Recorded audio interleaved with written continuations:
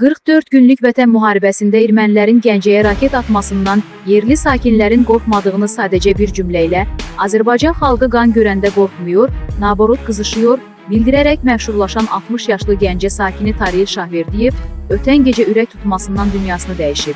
Qeyd edək ki, Tariyel Şahverdiyev 1-ci Qarabağ müharibəsində könüllü iştirak edib və ehtiyatda olan polis mayoru idi.